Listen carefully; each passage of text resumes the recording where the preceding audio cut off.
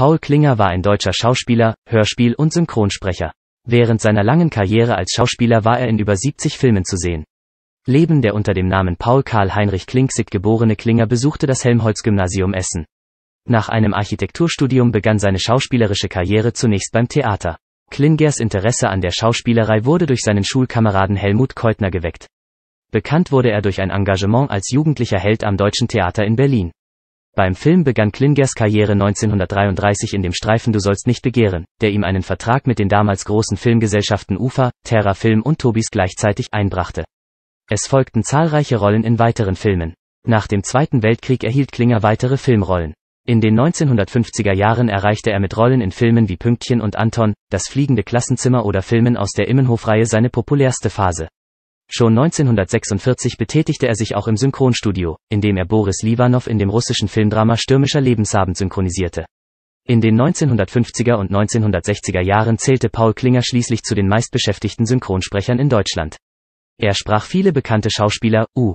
A. Bing Crosby, Robert Taylor, Charlton Heston, Jean Mare, Jean Gabet, Cary Grant, Karl Malden, Stuart Granger, William Holden, Ray Milland, Gary Cooper, Humphrey Bogart, Dean Martin, Gregory Peck, David Niven, Laurence Olivier, Spencer Tracy, Robert Mitchum, Orson Welles. Ab den frühen 1960er Jahren war er nur noch selten auf der Leinwand zu sehen.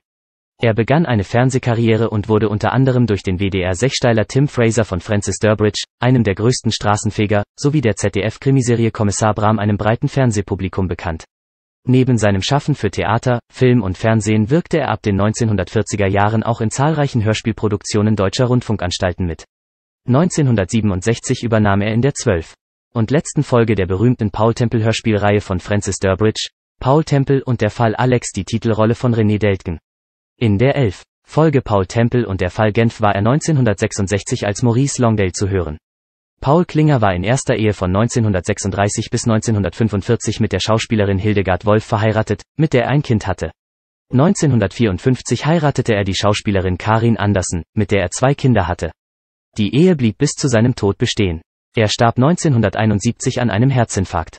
Seine Grabstelle befindet sich auf dem Friedhof Söcking bei Starnberg. 1974 gründeten Trude Hefelin und Jürgen Scheller zu Ehren Klingers, der sich für sozial benachteiligte Künstler eingesetzt hatte, den gemeinnützigen Verein Paul Klinger Künstler Sozialwerk e.V. Deutschland würdigte Paul Klinger 2007 zu seinem 100.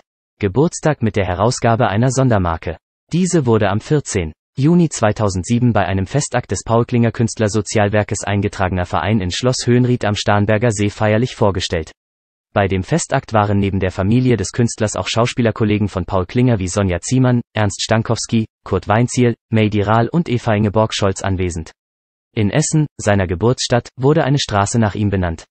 Sie befindet sich im Westviertel, in unmittelbarer Nähe des Kolosseum Theaters auf einem ehemaligen Werksgelände der Friedrich Krupp AG.